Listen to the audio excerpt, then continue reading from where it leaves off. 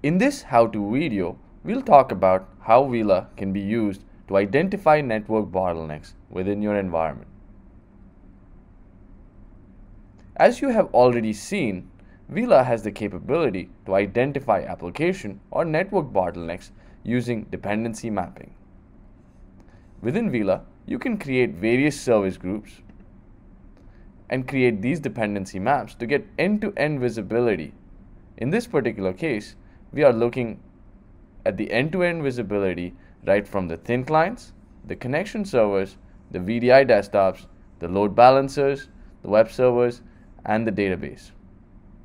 Here, you can quickly take a look at the lines and identify where the bottlenecks are. Quickly, between the load balancer and the web servers, you can see that there is an orange line. By simply hovering over, you can quickly see that in this particular case, the bottleneck essentially lies in the application side of things. Your network shows up as 0 milliseconds, indicating that there are no particular network bottlenecks. However, if network was the case, you can quickly take a look at it and differentiate an application or a network related issue. Within the network analysis view, you can also find some interesting statistics with regards to networking. The network analysis view provides you with an end-to-end -end visibility right from the top of the rack switch to the host, the DV switches, the port groups, the virtual machines, and all the different applications that are running in it. The timeline on top basically provides you with the data volume. As you can see, there are areas with very high data volume, so you can take the time slider and move it across. Looking at this particular time window, you can see that there is a huge volume of iPerf traffic.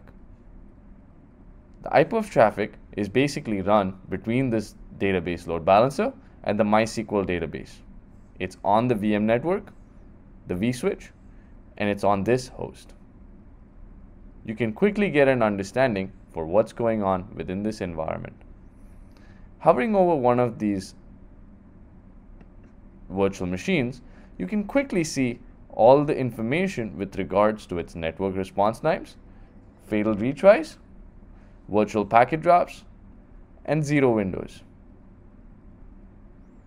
Similarly, you can also get visibility into all the different kinds of applications that are running inside it and the total bytes volume.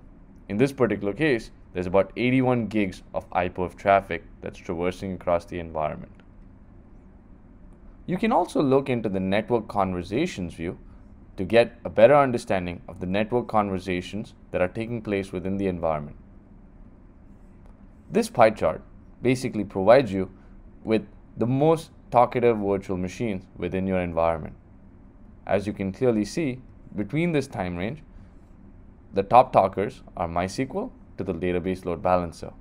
Hovering on top, you can quickly see the amount of traffic volume between the load balancer to the SQL database, you can see there's 88 gigs of traffic. However, from MySQL to the load balancer, there's only 2.95 kilobytes of traffic. Using this view, you can also get a better understanding of the network response times, fatal retries, and any other issues within the environment. You can also use the table view to filter down on important applications within your environment. Say you're interested in the DNS service. If you simply filter based on the DNS service, you can quickly see all the different systems that are using the DNS service. Here, your main domain controller, and you can see all the different virtual machines communicating with the domain controller for DNS service based on looking at the round trip times, you can see that they are quite low. Similarly, no issues on the fatal retries, resets, or zero windows. Finally, when it comes to network analysis, a very important component is to be able to look into the network devices. Here, Uila can capture information regarding the network switches, routers, firewalls, load balancers, and any other networking equipment within your environment. This will help us bridge the gap between the physical environment and the virtual environment within, within your data center.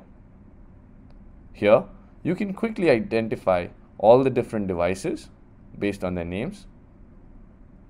And in this particular scenario, it can be clearly seen that this Ubiquiti router has an issue on the second port.